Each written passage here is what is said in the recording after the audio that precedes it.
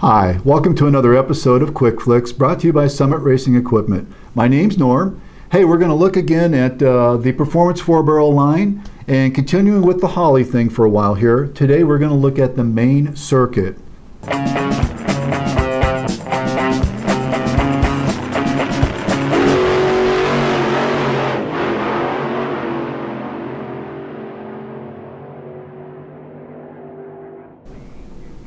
Okay, so main metering. Um, let's talk about dialing in your main metering before we look at the theory. I think that if we just lay some groundwork with dialing in the main system, the main circuit, uh, you'll have a better understanding and a better feel when we start looking at theory, okay? Uh, the main is controlled by jets. Uh, there, there are bleeds that you can work with, uh, but I'm not going to go there, okay? We're going to work with jets, uh, and in this case, in this level, four barrel, uh, that's what Holley had in mind anyways, okay? So off of jet sizes, I'm going to dial in my primary side, my primary jets, by finding a place where I can cruise down the road at steady state. It could be 35, 40, 47 miles per hour, whatever, where I'm just tipping into throttle position, okay? So at this point, my throttle blades are not closed, they're not wide open throttle, but they're somewhere in between, okay? And I'm finding a place where I can do this at steady state and maintain a few moments uh, in that RPM, in that mile per hour.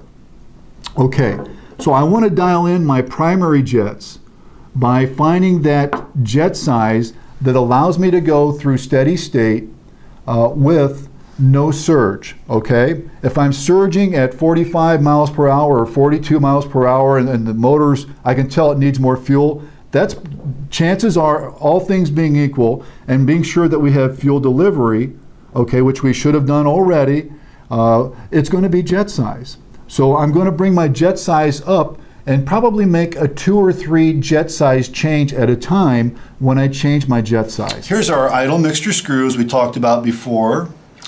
There's the, you can see here, this would be where it, the idle mixture screw pulls off of the main well, this little casting here. Uh, the, one of these, in fact, this is probably emulsion tube in here, one of these tubes. And then uh, our main jets. And the power valve. Power valve, which we're going to assume is shut for today. And um, our full-time manifold vacuum on the base plate and then a ported or tuned vacuum uh, always above the base plate, and in this case, it's on the metering block. Also, I'm going to take a vacuum gauge for a ride, okay? Now, to do that, I'm probably going to go to the store, buy an extra long length of, you know, four foot, six foot vacuum gauge, and hook it up to my vacuum gauge, hook it up to my full time vacuum port, uh, not the one on the uh, side of my primary metering block, but the one that's off of the base plate as we talked about last time so that I get full engine vacuum and I'm, and I'm going to bring my vacuum gauge inside with me. Hopefully I'm going to have someone along with me on the ride that can watch the gauge as I'm going through steady state uh, driving. You know, you can glance at it, but I'm going to try and watch the road and pay attention to my pedal. So I'm going to keep jetting upward on my primary side until I reach the maximum vacuum again, kind of like what we did with our idle circuit. So as we come up, uh, and my vacuum readings are increasing and increasing, and I'm going up, you know, two or three jet sizes each time, I will reach a point to where my reading will start to fall off, or it'll just suddenly take the dive downward. At that point, I know that I can't go any larger on my jet size, and I want to go back to the jet side I had in previously and use that for my, my primary jet size. On the secondary th side of things, to start with, an initial tune, wherever I ended up on my primary side, I would probably move into a jet size that was four, five, or six sizes larger than my primary side. To dial in the primary side, uh, it's a good idea to have a place where you can uh, can open up to wide open throttle or, or at least transition beyond steady state, okay? Because you want to start pulling from the secondaries to dial those in.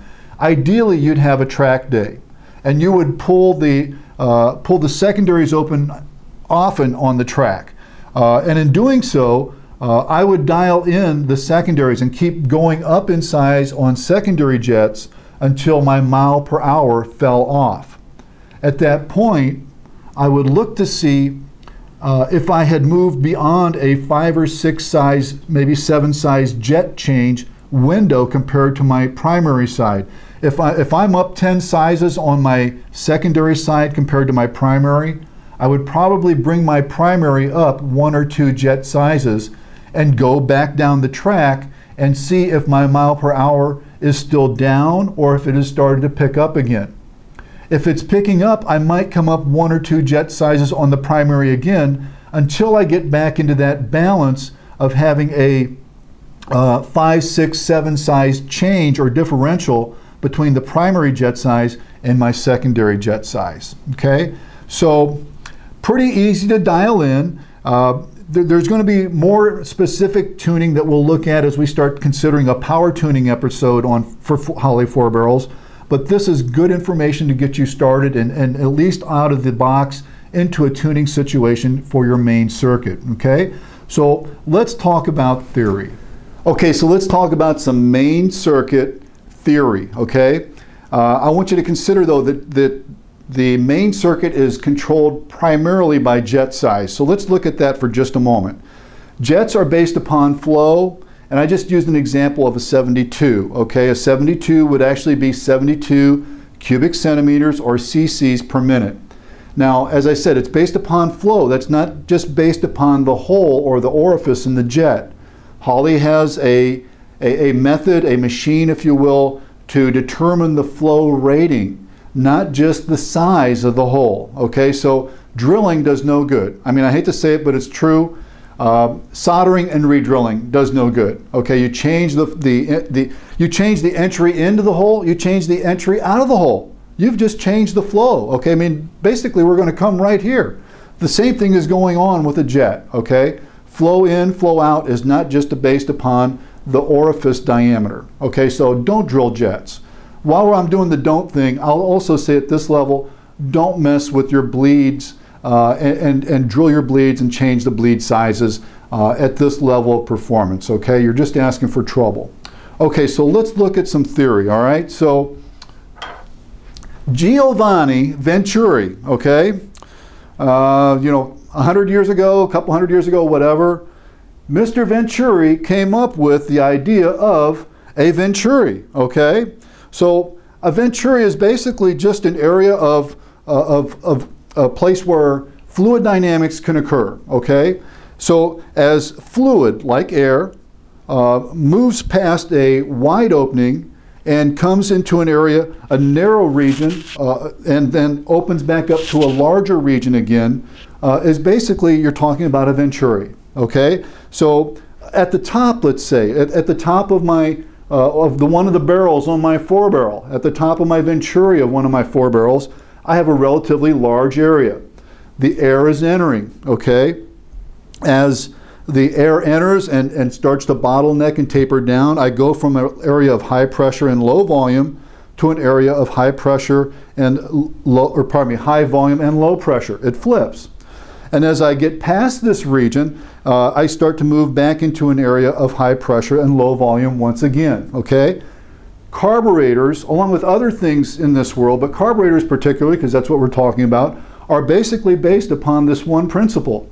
Okay, it, it, uses it uses all of these gradients, all these high pressure, low pressure areas to its advantage to to fulfill the necessity of all of its circuits. This is basically has nothing more to do with other than the fact that you've got a, a high pressure, a low pressure, and a high pressure underneath. Which one do I want to work with, and which one will satisfy uh, the demands of a circuit that I'm trying to dial in, okay? Think about this for just a moment. Just for giggles, uh, here's my booster, okay, where my, my fuel comes out in the annulus. And, uh, you know, some manufacturers have an idea of putting this at different locations in the airstream so that it picks up a different type of signal quality. Sometimes you want a signal that is uh, more high pressure and low volume, Sometimes you want a signal that's more high volume and low pressure. And sometimes you want a, a, a return side or the back side and start dipping into a high pressure or moderate pressure with a low to moderate volume, okay? So they do a lot of thing with Venturi uh, tuning and where the booster location is in the Venturi. Okay, so let's look at my other drawing, okay? So I have a primary bowl, I have a primary Venturi, and uh, let's just take a look and kind of, hopefully you can get on board with me here, okay? So primary bowl, I got my float, it's out here on its hinge, its arm is up there with my needle and seat. The, the fuel level is going on, it's all good. We've already dialed that in previously. My power valve off of my main metering block is going to remain closed for today's discussion. So power valve PV closed. And then I'm feeding my main well, as I said earlier, by my jet uh, down here uh, at the bottom. Here's my jet, jet extension. Here's my jet, regular jets on the, the metering block. I'm feeding my, feeding my main well, main well here on the block through the jets, okay? Now, in this, adjacent to this main well or behind it, depending on the metering block, is a place or a thing called an emulsion tube, okay? Now, bear with me just a second here. Imagine with me for a moment that I'm sitting here on my idle circuit. So my throttle blade is closed, okay? There's no big volume of air passing my booster. So it's not picking up a signal. The, my Venturi thing is basically dead at this point, okay?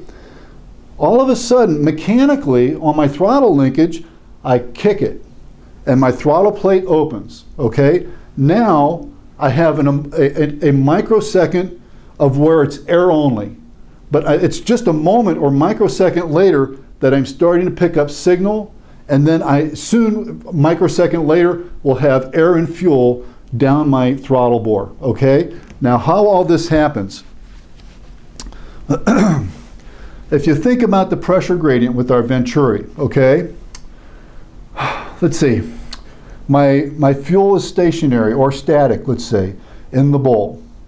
How do I make fuel climb a ladder, if you will, or climb an emulsion tube? it has to be through pressure, a pressure gradient, okay? So as I crack my throttle, okay, I'm, I'm uh, air is starting to move. Like I said initially, I create that pressure drop and I move from a region which creates a, a, which makes this an area of high pressure all of a sudden and it goes to a region of low pressure. So my fuel actually starts to climb up my emulsion tube. Because I've made this a high pressure area, I've got my vent for my emulsion tube so I can get air in there and actually cause an emulsion to occur of fuel and air. Because of the pressure differential, again, I can pull air from near atmospheric or atmospheric down my vent tube into the emulsion tube and cause this emulsion to finally occur, okay? All of this is happening really, really quick. As my emulsion comes up my emulsion tube, it goes out my, my transfer tube or booster tube, whatever you want to call it, and it feeds my booster. Now, many modern boosters are Venturis themselves. So, oh my goodness, now what's going on? I got a Venturi within a Venturi, you know, egad. So it's like Venturi squared? I don't know. But what happens is now I've got, again, a pressure of, uh, or pardon me, a, a high pressure area where my annulus is on my booster and then I'm going to come into my bottleneck in my booster and I'm going to have an area of low pressure. And then as I leave my booster and move into the throttle bore region or the throttle bore venturi area, I'm going to come into another area of high pressure as I leave my booster region. So my emulsified air is hitting this rapid airstream, all of this traveling toward my intake valve. Um, and as it, as it leaves my booster, it's the brakes are basically getting slammed on this emulsion as it hits hits this oncoming air and, and, and goes from like 60 to zero for an analogy all that inertia all that momentum says hey i'm just i want to keep going but i'm not. So it shears which causes greater atomization of my emulsion. And uh, that that improved uh, if i could use that terminology if my improved emulsion then my improved atomized emulsion, then continues down my throttle bore and then on toward my intake valve. For today, I think I'm going to say that's good enough for the main circuit. Um, Dial in your jets as we talked about earlier. Remember, the vacuum gauge is your friend if you're working with a carburetor. Uh, if you'd like to, please post your comments. Uh, sign up for a subscription. Yeah, pardon me, I'm running dry. Sign up for a subscription or uh, take a look at some of our additional videos here off to the side. Uh, thanks for watching another Summit Racing sponsored Quick Flicks.